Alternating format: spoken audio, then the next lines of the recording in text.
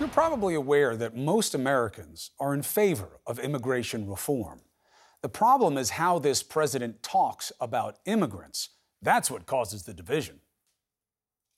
Donald J. Trump is calling for a total and complete shutdown of Muslims entering the United States. Remember this? The Muslim ban from the man who has demonized Islam, who told you that Islam hates us. It's this ugly us versus them that literally spared no one, not even children. And when you prosecute the parents for coming in illegally, which should happen, you have to take the children away. Now we know you don't have to do it that way unless you want to be harsh. A lot of people wonder how a guy from New York, a place that is all about diversity, the son of an immigrant mother, a man who even pretended his own father was an immigrant from Germany, even though he isn't. How does Mr. Trump now arrive at this kind of ugliness? It's a good question. Safe bet that political opportunism is in there, but there's another ingredient poison from this guy, Stephen Miller. He is the architect of the animus. At stake is the question of whether or not the United States remains a sovereign country. I ask him on all the time to test his arguments. He never takes the opportunity. The scary part to discuss with Mr. Miller is where he gets his gall. The Southern Poverty Law Center says it has the answer, thanks to a former editor at Breitbart who shared hundreds of emails from Mr. Miller. We can now track policies and ideas directly from white supremacist websites to the White House. The emails are from 2015 and 2016, not when he was a kid, just before Miller joined Team Trump when he was still an aide for then Senator Jeff Sessions.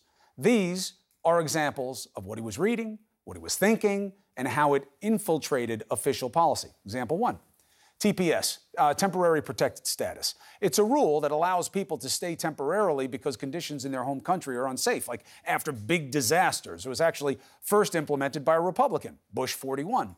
So, back in October 2015, when Hurricane Patricia slammed Mexico, here's the conversation from the Breitbart editor, Katie McHugh, and Mr. Miller.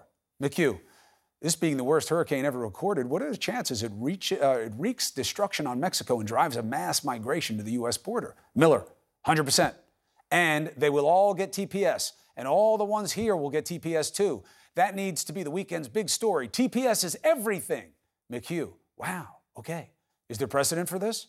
And Miller sends a VDARE link. What's that? I'll tell you in a second.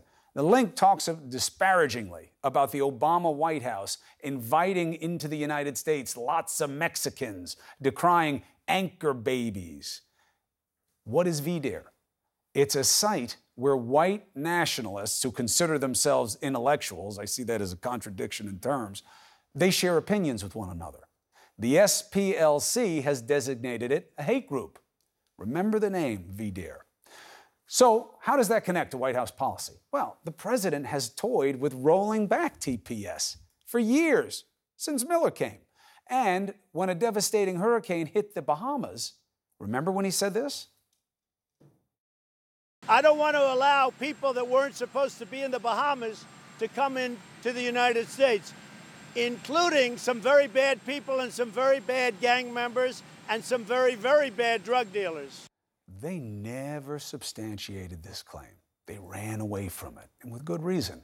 Another example Mr. Miller, September 6, 2015, 3:41 p.m. You see the Pope saying we must in effect get rid of borders? Someone should point out the parallels to Camp of the Saints. Go Google that, Camp of the Saints. Now, for the record, here's what the pontiff actually said. Faced with the tragedy of tens of thousands of refugees who are fleeing death, the gospel calls us to be neighbors to the smallest and most abandoned, to give them concrete hope. Amen. Then he called for parishes to open their doors to refugee families, as he should, as popes always have. But Miller sees an existential threat and invokes Camp of Saints. If white nationalists had a book club, that would be their number one choice.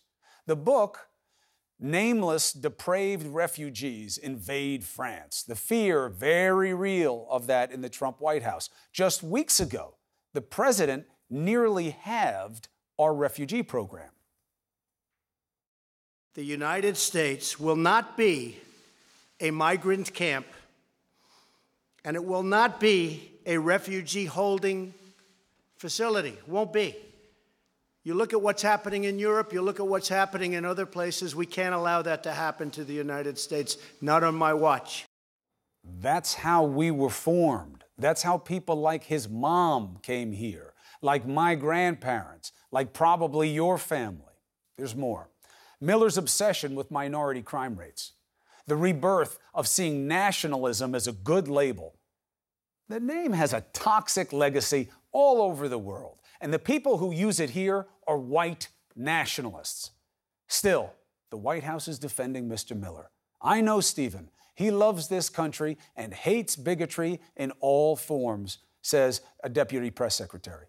He's not the only one with kind words for Mr. Miller. Here's America's most famous neo Nazi, Richard Spencer, earlier this year. Stephen Miller and I were friends at Duke. I generally like Stephen. We uh, worked on an immigration debate, uh, which we brought Peter Brimelow to campus. Why is he laughing? Brimelow is the founder of VDARE, same group I told you about at the beginning of the argument, the one pumping out anti-immigrant hate, hate, the group that Miller was sending out links to. As for a relationship with Richard Spencer, Mr. Miller says, no way.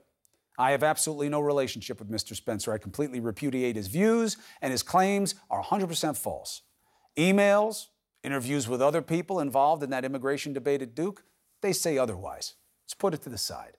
The point is, Miller's political ideas that the president often parrots are too often un American and ugly. You know, the president News came out today that he wants to get rid of Vindman and others who are testifying in a way that he doesn't like. Basically, wanting to get rid of them for telling the truth. Why would he keep someone like Miller, who's peddling divisive rhetoric about minorities and immigrants, who's telling lies about people in this country? You know what they say you are the company you keep. Mr. Trump's oldest advisor just became one of the half dozen Trumpers caught lying to feds and a main policy advisor, was known to traffic in divisive nationalism. Is this a promise kept to bring us only the best?